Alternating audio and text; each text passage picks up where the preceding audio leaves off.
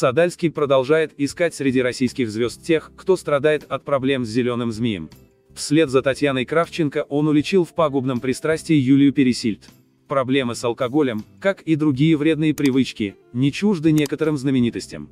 Станислав Садальский считает, что именно их пытается скрыть от своих поклонников одна из самых популярных современных актрис, Юлия Пересильд. Сегодня ее имя у всех на слуху благодаря состоявшемуся на днях выходу в прокат фильму «Вызов».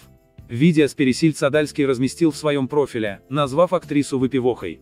В нем знаменитость говорит о том, что она не знакома со Станиславом и призывает поклонников не реагировать на подобные провокации.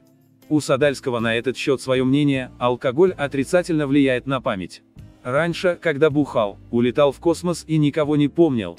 Поэтому призываю всех, и друзей, и недругов, хватит пить. Это не первое публичное заявление Станислава, касающееся Юлии Пересильд. Уже не первый месяц он пытается убедить общественность в том, что актриса так и не побывала на МКС.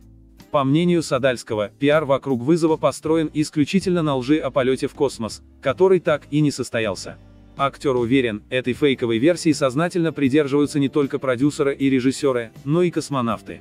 Ранее подобные обвинения от Станислава звучали в адрес звезды сватов Татьяны Кравченко.